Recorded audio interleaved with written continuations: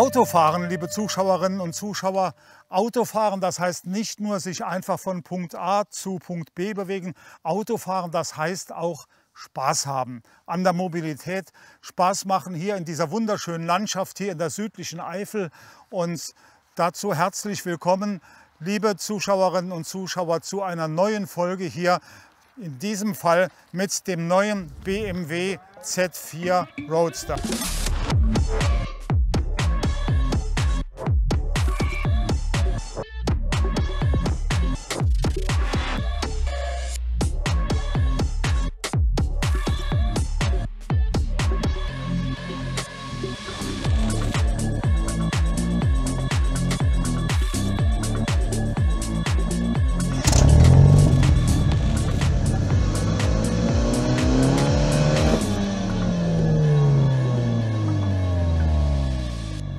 Klassische englische Roadster, das heißt zwei Sitze, kurzes Stummelheck, langer Vorderwagen, so wie das jetzt auch hier beim neuen BMW Z4 der Fall ist. Dieses Fahrzeug ist eine Kooperation zwischen BMW und Toyota, also ein halber Japaner, ein halber Oberbayer, den wir hier vor uns sehen. Bei BMW ist es der Roadster, also das offene Fahrzeug, die offene Version der Z4 und bei Toyota ist es der Toyota GT Supra. Beide stehen auf der gleichen Bodengruppe, einmal als Coupé und einmal als Roadster. Was zeichnet jetzt einen Roadster aus? In erster Linie einmal, wie Sie hier sehen, dieser lange Vorderwagen. Natürlich die beiden BMW-Nieren, das Erkennungszeichen der Fahrzeuge aus München. So, und dann sehen wir natürlich hier diese Luftschlitze, Luftschächte, damit für eine ordentliche Durchlüftung vom Antrieb gesorgt ist. Und natürlich hier diese Sicken, die Sie hier sehen, viele konvexe und konkave Formen. Da steckt noch so ein bisschen vom äh, bekannten BMW Designer Guru, Guru von Chris Bangle mit drin. Und das ergibt halt eben den Gesamteindruck eines klassischen Roadsters aus dem Hause BMW, aus der Z-Serie. Zu dieser Z-Serie möchte ich Ihnen nachher noch ein bisschen was erzählen. Bleiben wir zunächst einmal hier beim BMW Z4, der wie gesagt ein Gemeinschaftsprodukt von Toyota und von BMW ist.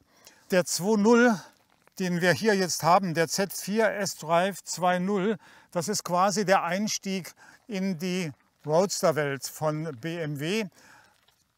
Unter der Haube arbeitet ein Vierzylinder Turbo, 2 Liter Hubraum, 197 PS. Das heißt, der ist schon flott unterwegs, aber der ist nicht übermäßig motorisiert. Und äh, dazu werden wir aber nachher noch ein bisschen was an Fahreindrücken wiedergeben. Zunächst mal hier noch ein bisschen was zu den technischen Daten. Drehmoment 320 Newtonmeter bei 1450 Umdrehungen und das Ganze, die Kraft wird übertragen von einer Achtgang-Automatik. Jetzt werden viele Autofahrerinnen und Autofahrer sagen, hm, Roadster ist eigentlich nicht so sehr für, für eine Automatik vorgesehen. Beim Roadster, da schalte ich gerne, da habe ich lieber das manuelle Getriebe, aber auch dazu ist vorgesorgt. Es gibt auch noch einen komplett manuellen also der hat dann ein manuelles Sechsganggetriebe, aber hier besteht halt die Möglichkeit am Achtgang, an der Achtgang-Automatik auch noch mit manuellen Peddeln die Gänge einzulegen. Das heißt quasi eine Halbautomatik dann in diesem, in diesem Fall. Ja, dann natürlich noch ein bisschen was zur Linienführung. Ein Zweisitzer, ein zweisitziges Cabriolet, der lebt natürlich von dem, was er optisch aussagt. Und wenn Sie also sehen, hier geht es also jetzt los mit den Schlitzen für die Luftführung. Dann hier runter diese elegante Führung bis hier oben rauf. Die betont also das kräftige Heck nochmal hier. Und äh, das ist also alles ein bisschen puristisch gemacht. Also das sind nicht sehr viele Ecken und Kanten wieder reingebaut. Alles sehr, sehr puristisch gemacht.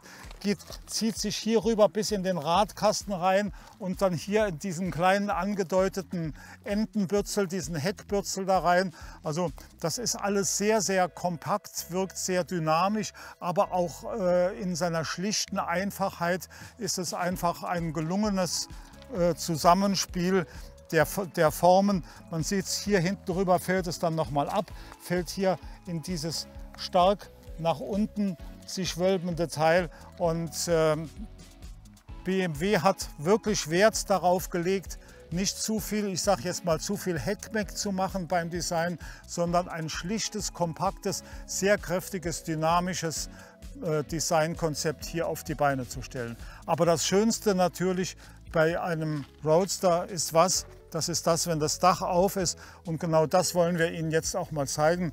Denn ein Cabrio, ein Roadster, der lebt natürlich dann, wenn er Frischluft hat.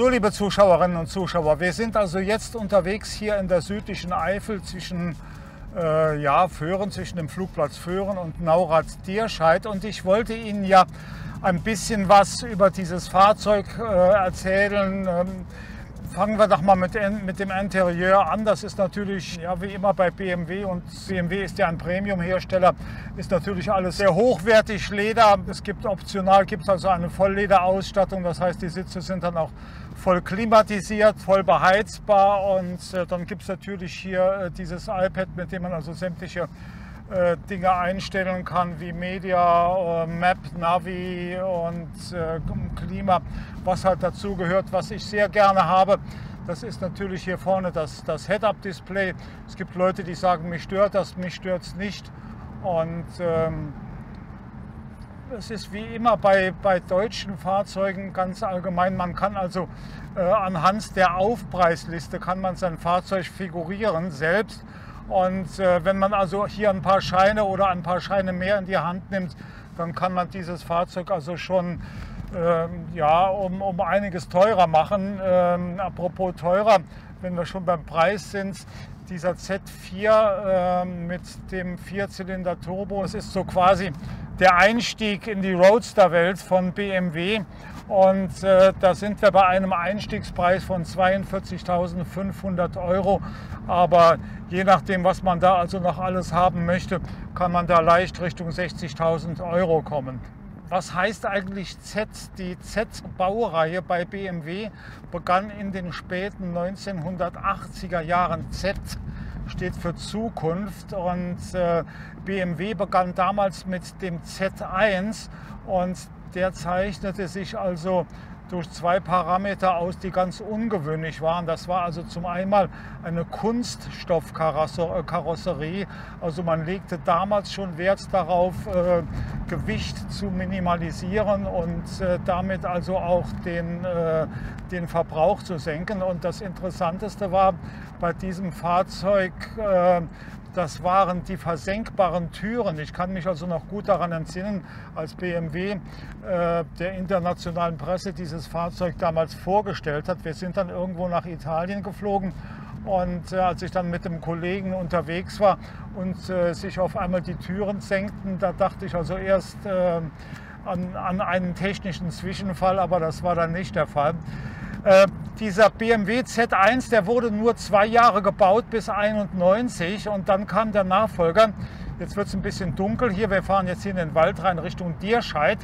Dann kam der Nachfolger, das war der Z3, der BMW Z3. Bekannt wurde diese Z-Baureihe natürlich äh, durch Mr. 007, James Bond. James Bond fuhr also BMW Z und vor allen Dingen erfuhr diese letzte Ausbaustufe den BMW Z8.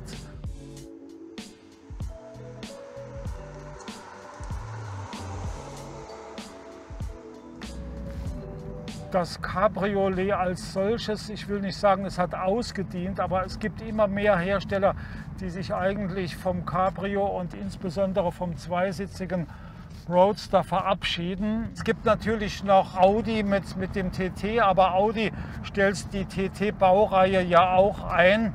Und dann gibt es dann natürlich von Mazda den, den MX5. Der kam übrigens im gleichen Jahr auf den Markt wie damals der BMW Z1. Das war 1989. Also das verbindet diese Fahrzeuge so ein, so ein bisschen mit, miteinander.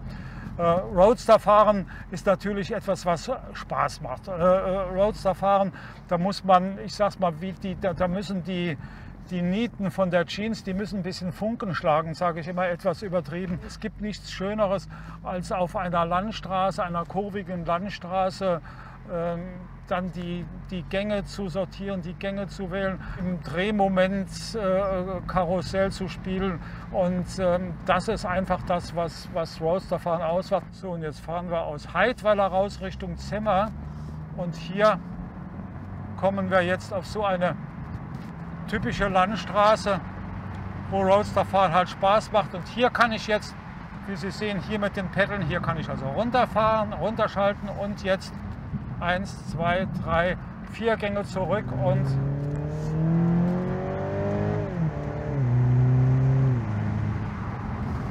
das ist das, was Roadsterfahren ausmacht.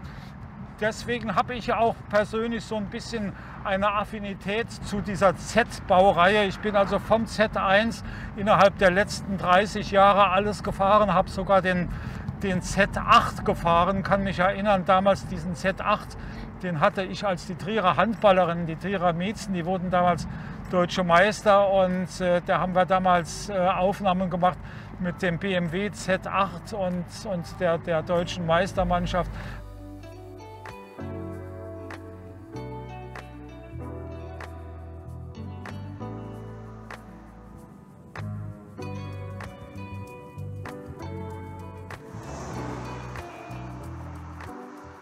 So, wir fahren jetzt noch ein bisschen hier in die Eifel Richtung Speicher, aber wir möchten Ihnen natürlich, liebe Zuschauerinnen und Zuschauer, auch noch etwas zu den technischen Daten erzählen, zum Motor, zum Triebwerk, zum Getriebe. Aber dafür müssen wir die Motorhaube natürlich aufmachen und dafür gehen wir uns jetzt ein schönes Plätzchen suchen. Dann bis gleich.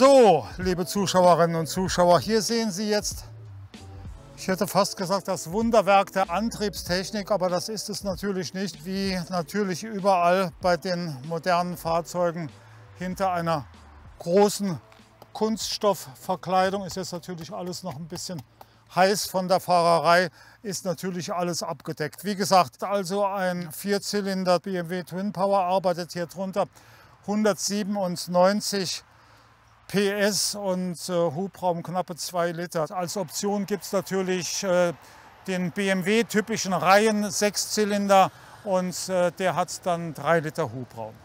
BMW typisch natürlich der Hecktriebler und ich rate also ganz bewusst nicht dazu, ähm, hier die, die Assistenzsysteme, die elektronischen Helfer auszuschalten. Aber äh, wer ein bisschen affin ist damit und die Gelegenheit hat, irgendwo zu fahren, wo also kein öffentlicher Verkehr ist. Es macht also mit Sicherheit mit einem Hecktrieblerfahrzeug sehr viel mehr Spaß, äh, wenn kein, kein ESP eingeschaltet ist. So, liebe Zuschauerinnen und Zuschauer, das war unsere Fahrt, unser Ausflug in die südliche Eifel. Wir stehen jetzt hier in der Nähe von Spangdalem Speicher. Das war unsere Fahrt mit dem BMW Z4 S-Drive 2.0. Aber wir haben natürlich noch viele schöne andere Fahrzeuge für Sie. Ich bedanke mich für Ihre Aufmerksamkeit, fürs Zusehen, fürs Zuhören. Hoffe, Sie hatten ein bisschen Spaß und genießen unsere Aufnahmen beim offenen Kanal Trier und natürlich auch im Automobilblog von Charlies Autos. Dankeschön und Tschüss.